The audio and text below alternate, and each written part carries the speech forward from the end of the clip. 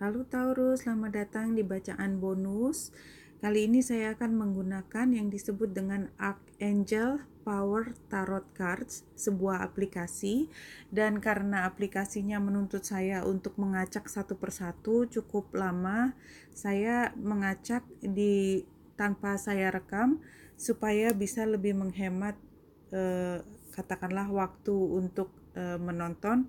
Dan ini Sebarannya adalah Celtic Cross seperti sudah terlihat di sini. Seperti biasa dimulai dari tengah ya, kemudian yang pink ini uh, adalah uh, yang crossing. Jadi masalahnya apa? Kita akan baca yang empat ini crossnya dulu, baru kemudian kita tambah uh, tiga ke empat ke atas tentang diri sendiri, bagaimana orang lain memandang kita, saran serta outcome-nya dan di setiap kartu nanti akan tertulis uh, kartu apa itu. Oke, kita mulai Taurus. Kartu pertama. Uh, ini adalah core-nya. Jadi apa sebenarnya yang terjadi? Adalah Knight of Gabriel.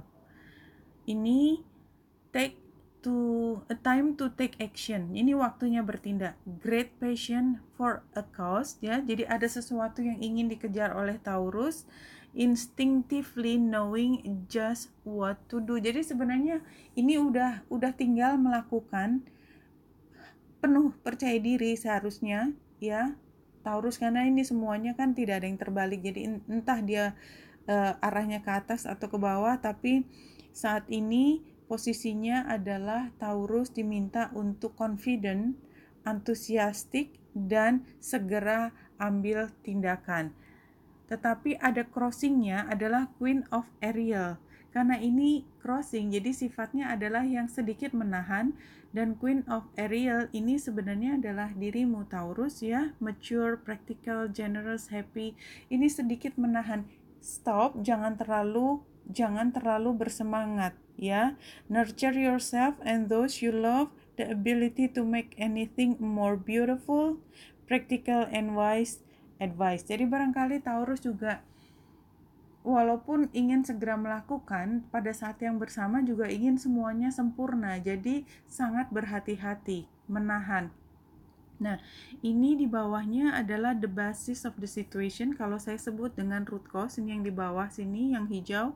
Nah, uh, ini kan kayak four of cups ya jadi uh, sangat berhati-hati ya seek out other possibility look for magic in life be aware of your own emotions ya jadi antara bingung karena ingin sudah melakukannya sudah harus take action tapi sebenarnya apa benar jadi ada keraguan di bawahnya ada keraguan ini sesuatu yang dilakukan di beberapa saat yang lalu pasti related to situation adalah peace. Release, release the past. There is a more enriching future coming.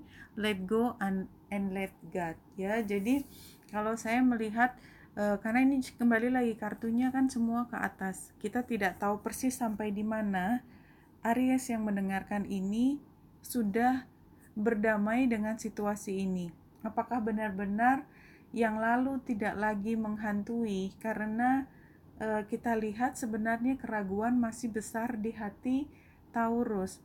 Yang dipikirkan kenapa kok e, ini menjadi pertanyaan besar apakah memang rela melepaskan masa lalu karena kita lihat yang dipikirkan there is something better waiting for you do what you know is right for you a spiritual request. Jadi karena memang yang lalu benar-benar harus ditinggalkan untuk bisa maju and take action di sini ya. Take action ini ya membutuhkan make peace dengan masa lalu dan kemudian meninggalkan yang mungkin sudah dilakukan. Kita lihat gambar ini perempuan yang sebelahnya ada anjing ini yang menemani berarti sebelah kanannya ada peti berisi uang, tetapi dia ingin melangkah ke jembatan ini. Nah, ini potensi yang akan dilakukan ke depan adalah akhirnya Taurus stuck, Eight of Michaels. Tetapi, ya, Walaupun rasanya stuck, you can be free. Sesungguhnya kamu bisa melepaskan diri. Make courageous choices to change your situation, not seeing things clearly. Barangkali ada hal yang belum dilihat. Oke, okay, ini apa yang dilihat Taurus tentang diri sendiri. The power you can demonstrate in this situation adalah mengubah hidup. A sudden revelation that offers freedom, break free of procrastination ya itu menunda-nunda embrace the opportunity that change brings ya. Jadi setelah stuck ini stuck gambarnya stuck dia e, berada di gerbang sudah mau jalan tapi dia ragu-ragu bukannya lihat ke depan tapi dia e, masih berpikir-pikir. Akhirnya power yang bisa ditunjukkan oleh Taurus adalah mengubah hidupnya ya mulai saja barangkali memang kenapa ragu-ragu karena orang lain melihatnya memang masih ada masalah yang menggantung. A change a challenge can you can resolve withdraw from the drama of others have patience with yourself and those around you. Jadi barangkali yang menahan tidak hanya dirimu yang yang berhati-hati dan berusaha untuk menjadi perfect. Barangkali orang lain juga takut kehilangan dirimu yang berubah. Anyway, ini adalah saran ya dan kalau di sini sebutnya your hope and fear a situation has ended. Ya, karena memang ada sesuatu yang baru, ada kesempatan di depan yang membuat ragu-ragu dari kemarin. A situation has ended, you are finally free. Pada akhirnya sekarang dirimu udah bebas, tapi kebebasan itu barangkali belum sepenuhnya dirasakan. Masih ada ketakutan-ketakutan yang menahan Taurus untuk e, melakukan perubahan. New opportunities for happiness will now follow. Put the past behind you. Berkali-kali disebut put the past behind you, ya. Dan ini adalah final conclusion of the question, ya. Kartu terakhirnya King of Michael Wisdom and objectivity are important now. Stay in your integrity a situation that calls for honest and open communication. Jadi kalau misalnya tadi kita lihat kartu yang orang lain, pengaruh orang lain ke Taurus adalah menahan dirimu.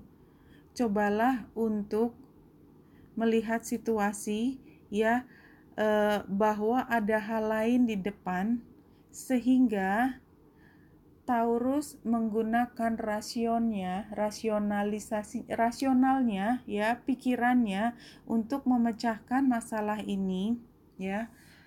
E, jadi bukan dipakai karena ini masalahnya adalah uh, the matters that you solve now-nya adalah Queen of Ariel. Maka conclusionnya akhirnya sebaiknya adalah menggunakan rasio karena di sini yang penting adalah bukan hanya drama, tetapi juga fokus apa yang terbaik buat dirimu. Karena drama sudah pasti ada dan itu datangnya dari orang lain. Mungkin ada sebagian dari dirimu yang tidak mau melepaskan masa lalu, tetapi jika sangat jelas situation has ended and you are finally free, ya new opportunities for happiness will now follow dan put the past behind you, maka yang terbaik adalah menggunakan analisis, rasio, dan logika. Oke, okay, wanita indah sini semoga membantu salam hati dan cahaya.